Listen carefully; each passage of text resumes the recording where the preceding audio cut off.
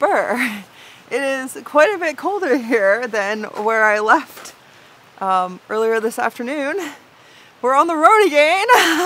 I'm so excited.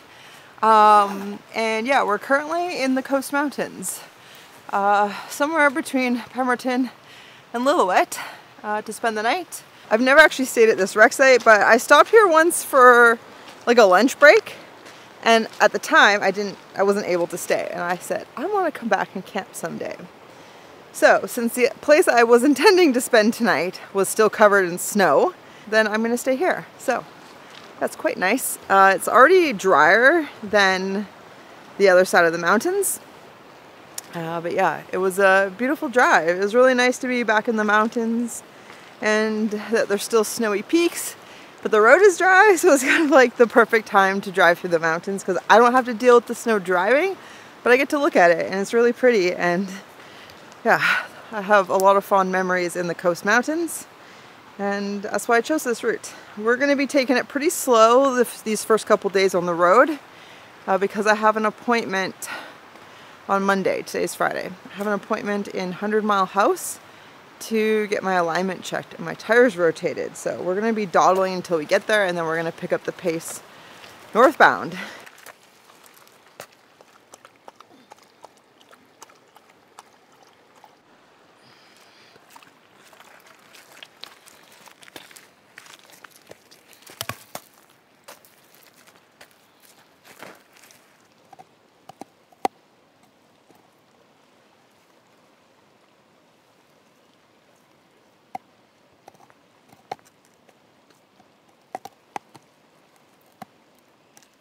Yeah, it felt kind of weird leaving Squamish on such a beautiful day. It was so warm in town and so sunny and it would have been just the perfect day to enjoy being there, but today was the deadline I set for hitting the road. It was actually the latest deadline I'd set. I'd hoped to be on the road maybe like a week ago, ideally, so I could take the whole drive north really slow. But yeah, that's totally fine. That said, it's a little cold out for skirt. So I'm to put pants on and we're to be taking it easy tonight because I've been really busy um, seeing friends and traveling and getting ready to hit the road. Um, I'm behind on editing. Once again, I'm just apparently not a very good YouTuber. So I'm to spend tonight editing and I'm not even to cook anything because I have this hunk of focaccia I picked up in town. So yeah, it's going to be like a inside night working at the computer. oh, yeah? Good morning.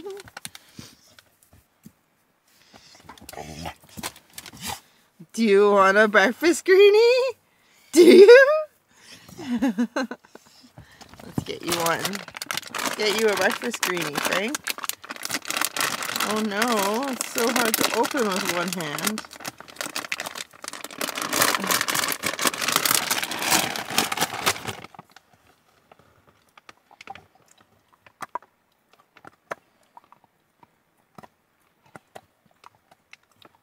Hello, good morning.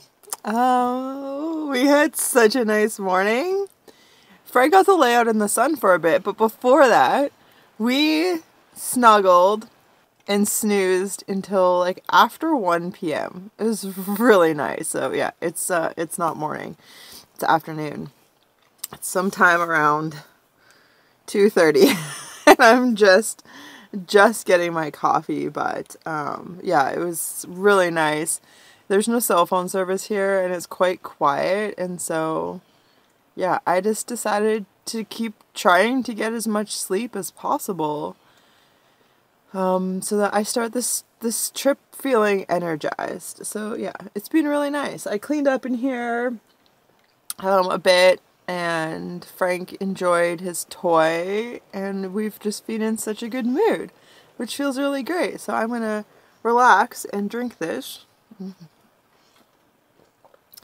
then we're going to roll out of here and we're going to finish driving the Duffey Highway and we're going to end up in Lillooet which has a really nice viewpoint. I always stop at every trip. It's, um, yeah, I just like can't help it.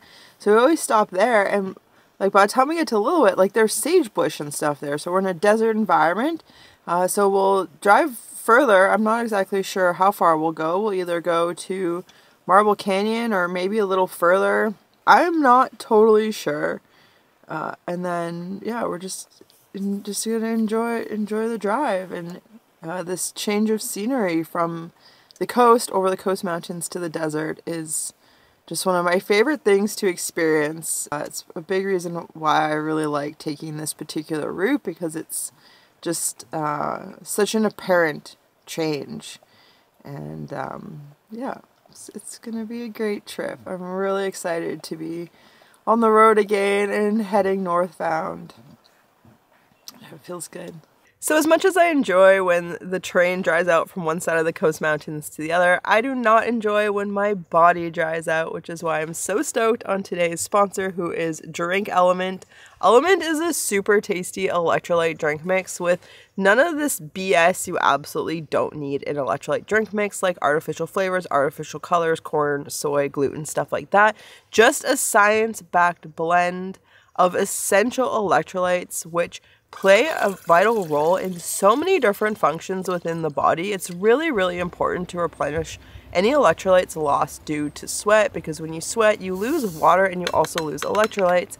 And I notice personally that when I stay up on my hydration and my electrolyte intake, I have way less cramping and headaches. You might have noticed it's been a while since I've had a migraine, and I definitely attribute that to a better hydration regimen that has been a big focus for me this year. And if you would like to give Drink LMNT a try, all you have to do is go to drinklmnt.com slash tideline to alpine and make any purchase. You're going to get the sample pack included, and the sample pack has eight of their flavors, so you can give them a try, see which one you might like to try out next. There's also the Insider Bundle, which if you buy three boxes, you get the fourth for free, plus the sample pack when you use the link. You can get the sample pack with every purchase from LMNT, no matter how many times you purchase. So every time you do replenish your electrolyte stock, go to drinklmnt.com slash tideline to alpine. Make sure you're getting the sample pack because using that link really does help support the channel. And if you have any issues or you end up not liking the product, Drink LMNT has excellent customer service. They've been just a wonderful company to work with, and I really, really stand by their product. With that said, thank you to Drink LMNT for sponsoring this video, and now let's get back to the road trip. All right, well, we made it to camp just as the sun was setting behind the mountains, and it is quite cold here. Uh, I wasn't really expecting it to be this cold, but it's all right. Uh, it's really, really good to be in this region. I quite enjoy uh, BC's desert area. And yeah, I would have liked to have spent more time around Lillooet and considered camping there, but the campground was closed. There's like a free campground there. It's closed. And then the one in Marble Canyon I like to stay at was also uh, still gated, which is something that really frustrates me with BC parks, is that there, there's no snow, I don't need services, just leave it open so I can enjoy the parks. Uh, but they don't. They block them and yeah, I get there's not enough, it wouldn't be busy enough to like keep staff on, but like they could just let us camp for free and we just practice um, leave no trace and look after ourselves and there used to be a lot more of that and then of course um, you know people ruined it. So so I'm here in a different area that uh, I know is always accessible well unless there's snow but and I thought about going for a walk but then I realized I was really hungry and I would like to eat before it's dark. So I'm crisping up some tofu and then cutting up some sweet potato and we're gonna do with some Brussels sprouts and noodle and seasoning. It should be good. Nice filling meal because I really haven't eaten much today. For this I use fresh udon noodles and I don't boil them or anything first. I just break it up and put them in and then I put the lid on for a bit and then they just kind of like cook in the steam and now I'm just uh, giving them some time to crisp up a little bit. I like some crunchy bits on my noodles. And then for seasoning, I'm gonna do garlic powder. Probably a lot of that. Yeah, lots, lots of that. I'm gonna do cumin. I'm gonna do a bit of black pepper. I'm gonna do some ginger powder.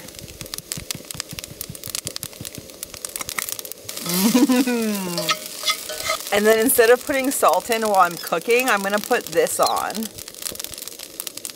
Oh, I'm gonna put this on at the end. This flaked salt is so good. And now I'm gonna add the tofu back in. And the reason I cooked it first was so that it got crispy. Whereas if I put it in with everything else, it would likely just break up and and then not be like its own little thing. This is a lot of food. This is good. This is lunch and dinner in one. Frank's uh, squeaking on a toy back there. I gave him his dinner and he seemed so excited for it, but then he just kept doing this like nose pushy thing, which I've seen some people say is like their dog trying to bury it for later. But I know he's hungry and he wants to eat. He's just um, treating it with like disgust because he wants me to make it better. There are treats in it, but he wants me to make it more better. And so I just took it away from him for a little bit and then I'll give it back to him. Like maybe when I'm eating and then he'll he'll eat it just fine. Do you want your dinner now? Are we gonna eat together, bud? Oh yeah, now it's now it's good enough. I love you, Frank. mm-hmm. Good boy.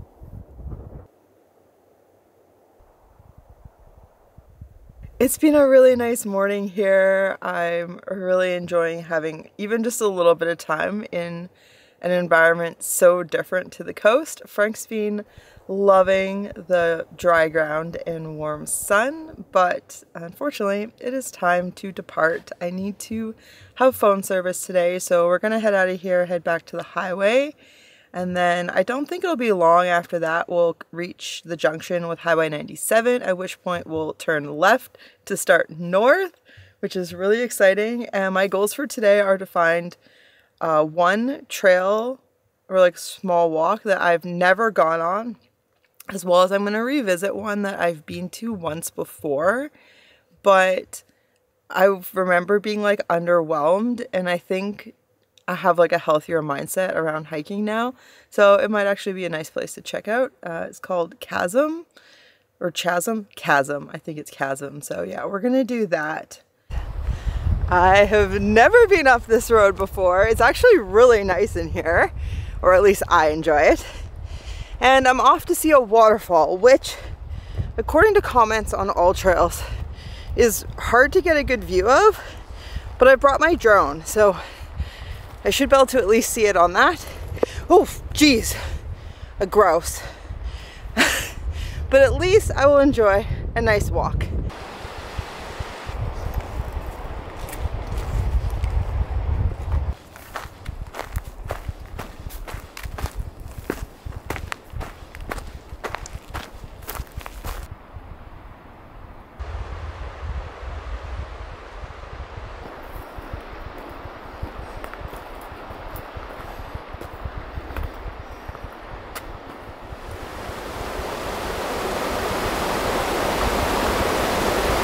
Even with the drone, I can't see much of a waterfall and it's pretty nerve-wracking flying in such a confined space, especially since I can't see the drone once I turn into the canyon and I'm just flying by what the drone sees as well as the proximity sensors. So it was a little thrilling but it's a really, really neat feature. I'm glad I came to check it out. And maybe if it were a hotter day, I would go back, get my sandals, and then try actually going up the canyon because I think that could be a really fun adventure. Uh, but that said, it's time to uh, wander my way back and uh, get back on the road.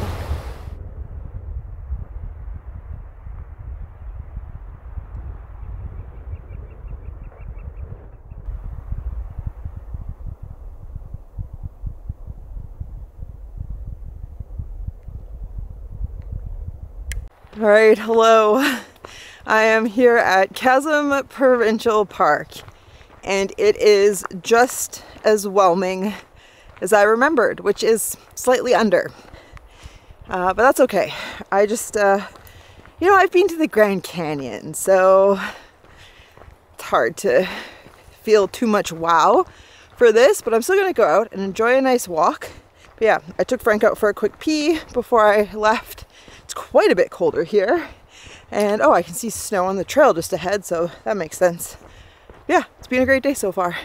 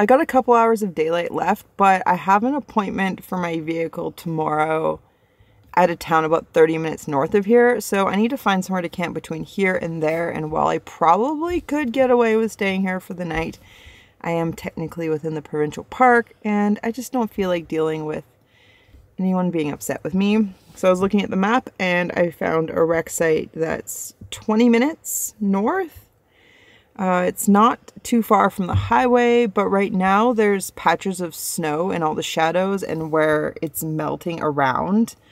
Uh, it's very, very slick mud, so I'm not exactly feeling inspired for a back road adventure. So I'll probably just take the rec site near the highway, and then I'm set up for just it being a really easy day tomorrow to get into town to take my van into a shop all right, well, the rec site wasn't exactly the type of rec site I was expecting.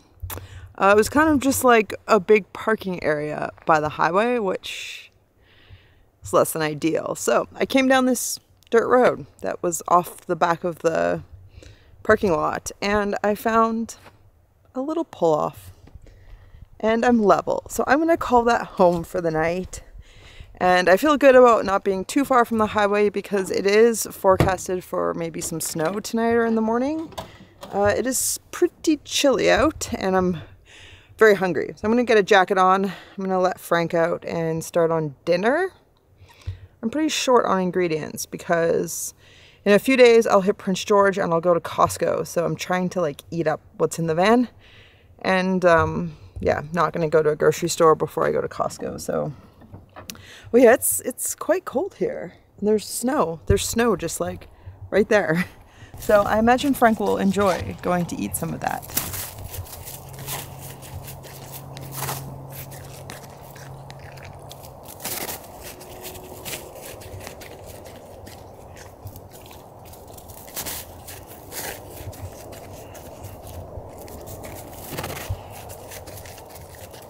I've made the most thrilling, decadent van life dinner ever. I have pot of rice, but it's not just any rice. It's rice cooked with vegetable bouillon, but it gets better.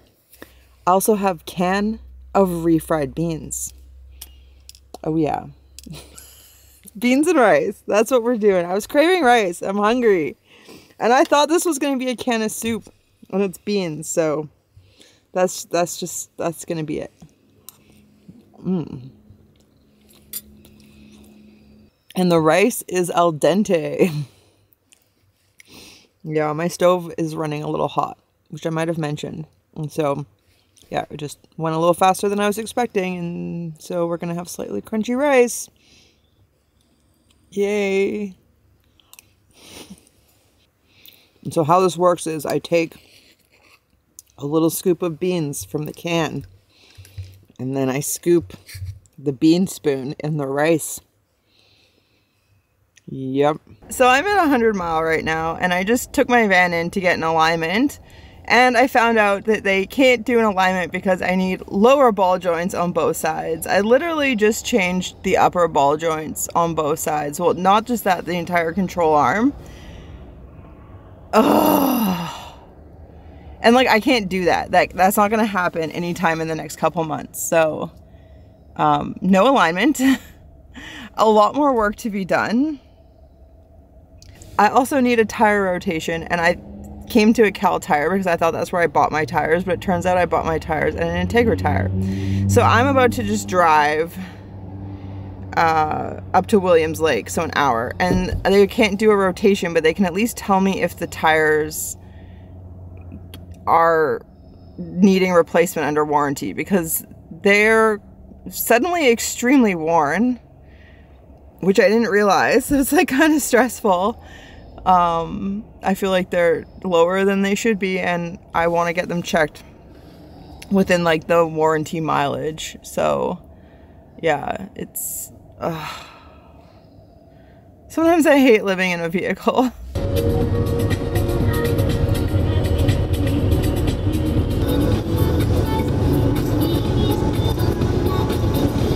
All right, today has been just such a whirlwind. Um, I left 100 Mile House. I drove an hour north to Williams Lake, and the second location I went to was able to do a quick tire rotation, which is good because at least now, like, the worst tires aren't on the back. Um, and then they sent me an hour and a half north uh, to a specific shop that would just retorque them, no hassle. So that's where I am. I'm in Quesnel right now, uh, which is kind of where I was hoping to be by the end of the day, and it's 4:30. So, um, yeah, there's a co-op here. I'm gonna go in and see about a shower. According to iOverlander, they will let me have a shower, which would be really nice. Um, and yeah, I still have to figure out getting water at some point, but yeah, that can wait. Um, I have water for a couple days. So yeah, the plan is to get clean. And hopefully that will just help me feel a little bit more relaxed. Because I'm feeling a little tense. I'm not stoked. I have more front end suspension work to do, but I'm also not surprised at all. Like at all. Um, yeah, I just I just would have liked to have done it before leaving the south because um our normal mechanic will let us stay in the van during work so then I can like get work done and Frank can be cozy and it, it just makes life a lot nicer. So um I did I don't know if I showed you, I bought like a big bath towel because for years, basically as long as I've lived in a van, I've mostly used these like silly little microfiber towels and they just don't dry well and showering at friends houses who have like nice plush towels the towel is like just so nice. So i just bought myself one and it takes up a ton of space in here. I have nowhere to store it um, and that's that's just fine. So i'm going to go have a shower and then we'll figure out like about camping tonight somewhere between here and prince george because tomorrow is going to be a chore day in Prince George, a supply day, provisions for the road.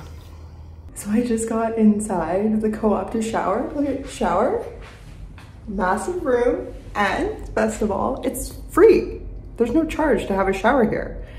They just said if they're open and you don't have a shower, you can just come have a shower. So, all right, so I'm clean and uh, we are here at camp at a lake. I drove about a half hour north of Quesnel, which will make tomorrow um, easy to get up and get into Prince George to do my provisioning. But it is pretty cold here, so when Frankie's down outside, we're gonna go in, and I think it's gonna be an editing night. um, because yeah, it's just just doesn't feel that nice to hang outside. It's um, just slightly above freezing, so basically like a west coast midwinter. Uh, but yeah, it was nice that I was actually able to get in here. There's really low snow this year. Uh, it's been pretty dry up north uh, compared to how it should be. And yeah, I'm gonna wait inside for Frank because it is cold. Oh, yeah. Yeah, I'm really excited to be back on the road. It feels great to be traveling again and covering ground. And yeah, I'm like already pretty much in the north, which is really exciting. So yeah, it's going to be a great um, next week as I head west along the uh, Yellowhead Highway. The door just closed there. Yeah, thanks so much for watching. I really appreciate you joining for our journey and I look forward to sharing whatever the road has ahead for us with you in the next one. So I hope you're doing well and we'll see you soon.